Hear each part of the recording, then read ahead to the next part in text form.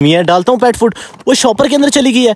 ये चेक करो भाई शॉपर के अंदर जाके नीचे उतर बहरा लगे कि भाई अंदर जा सकते हैं कि नहीं? वो देखो, वो अंदर बैठा हुआ है। वो कितना प्यारा लग रहा है, वो देखो होल के अंदर से देख रहा है भाई।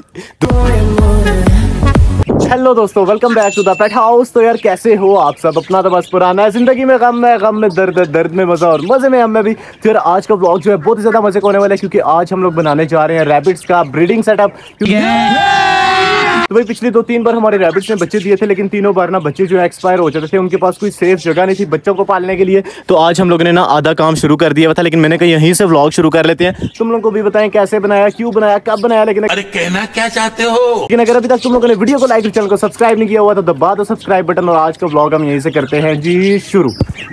आज फुल डे मस्ती करने के बाद अभी तक हमारे कैट्स का दिल है कि भाई ये हमें बाहर निकाले, ये देखो। हाथ रखता जाए तो सारे बाहर आ जाते हैं, लेकिन आज हम लोग इनको बाहर नहीं निकालने वाले, क्योंकि आज हम लोगों ने रैबिट्स का केज तैयार करना है तो रैबिट्स को हमें बाहर निकालना पड़ेगा। सारे रैबिट्स आज खुले हुए और ये देखो, अभी तो आधा बना और सारे के सारे ऊपर आगे हुए हैं। तो भाई हम लोगों ने लिया है एक अदद गड़ा, जिसमें ओल्ड टाइम्स के अंदर लोग पानी पीते होते थे, लेकिन हम इसके अंदर जो है ना रैबिट्स के बच्चे निकलवाएँगे। इसको मैंने जो है पूरा दफन कर दिया हुआ ज़मीन के अंदर, इसके आगे अभी ये लगेगा, ये चेक करो। जिस तरह ये निकला है ना, बिल्कुल सेम एज इट इज़ ये इसके अंदर जाएँगे और यहाँ पे बच्चे देंगे। ठीक है समझ गया। इसका एक नुकसान हमें ये होगा कि जब भी हमारे रैबिट्स बच्चे देंगे ना तो हमें पता ही नहीं लगेगा इन्होंने ब्रीड की भी है कि नहीं। लेकिन जब तुम लोग अपने बच्चों को बाहर निकालोगे ना मैं देख लूँगा। निकल। शुरू करें बाकी का काम। तो यार एहसन ने मुझे बड़ी हेल्प कराई है भाई ये सारा काम करने में। मिट्टी विट्टी खोदी है पहले हमने अभी ये गड़ा दफन हो गया। अब हमने इसके आगे गमला लगाना है फिर इसके आगे हमने एक पाइप लगाना है फिर जाके ये जो है तैयार हो जाएगा।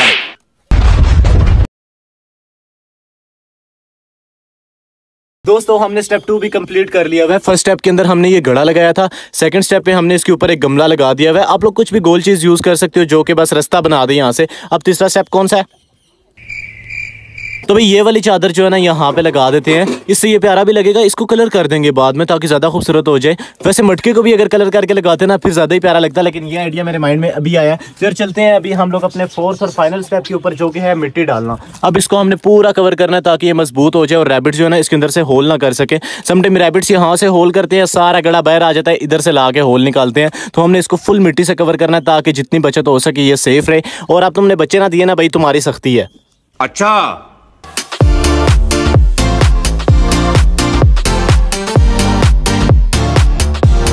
तो भाई फाइनली हमने केज जो है वो कंप्लीट कर लिया हुआ है। सारी मिट्टी जो है ना हमने ऊपर डाल दी हुई और एक रैबिट जाने की कोशिश भी कर रहा है। देखते हैं ये जा पाएगा या नहीं।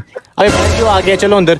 ऐसा सारे रैबिट्स ले आओ, इनको अंदर बंद करते हैं, देखते हैं भाई ये अंदर जाएँगे कि नहीं। ले आओ बलाज पकड़ के।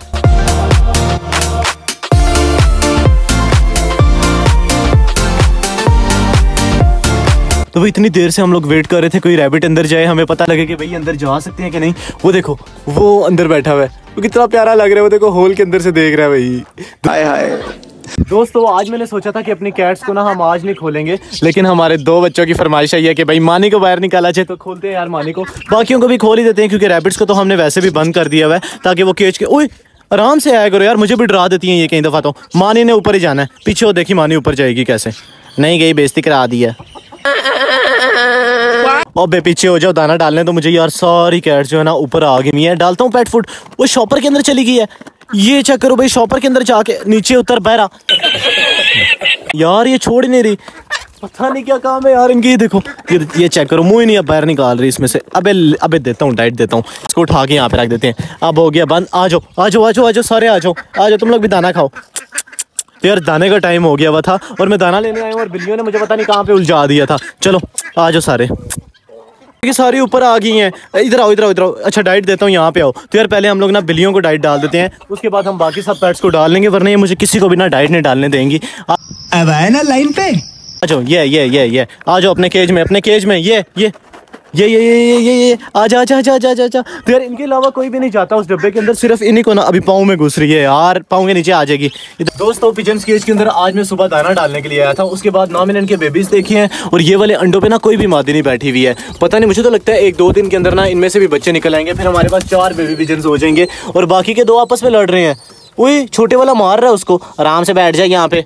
तो भाई पिजन्स को भी शाम का दाना डालते हैं और आज हमने ना डक्स के एग भी नहीं चेक किए। चेक करते हैं भाई जाके डक्स ने और एग्स दिए हैं कि नहीं। पिछली बार नो एग्स थे, अभी मैंने याद रखे हुए हैं। आज चल के देखते हैं कितने एग्स हो गए इनके और फिर डालते हैं भाई पिजन्स को दाना। ए डक्स तो अंदर एक भी नहीं है, वैसे रात को ना ये ऊपर बैठी होती है, जैसे भाई बच्चे निकालेंगे इनमें से। पूरी रात एग्स के ऊपर बैठ रहती है और पूरा दिन घूमती फिरती रहती हैं।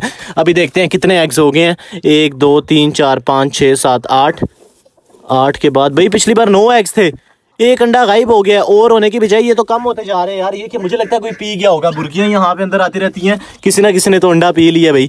बात तो सही है। तो भाई कल ही मैं बात कर रहा था कि हमारे बजीज जो है ना अंडे नहीं दे रहे। पिछले छह महीनों से इन्होंने एक भी अंडा नहीं दिया। मुझे लगता है इन्होंने मेरी बात सुन ली और माइंड कर गया क्योंकि आज हमारी दो मादियाँ ना डोलियों में बैठी हुई थी। एक अभी भी बैठी हुई और दूसरी अभी बाहर नहीं आ जाना पीछे जाओ पीछे जाओ चलो। एक ये ऊपर बैठी हुई है और दूसरी ना यहाँ पे बैठी थी। इसमें कैमरा में देखते हैं भाई अंडा है कि नहीं। नहीं इसमें तो कोई अंडा नहीं है। इस वाली में भी चेक कर लेते हैं।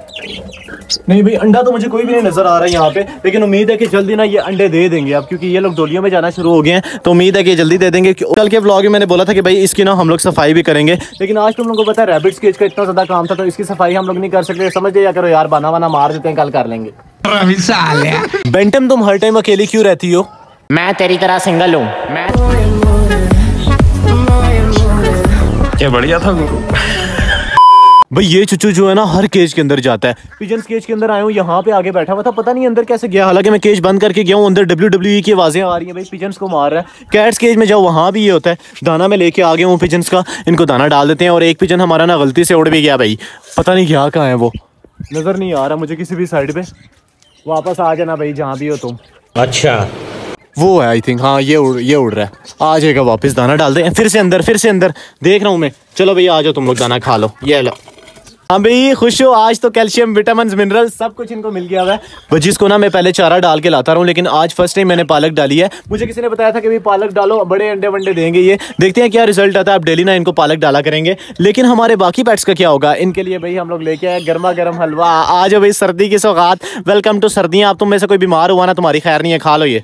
आज तो कवे भी हलवा खाने के लिए आ गए वो देखो किस तरह उठा के भाग गया गनेवा फॉल्स को बर्दाश्त नहीं है भाई, कोई हमारे पेट हाउस में आके हलवे खाए।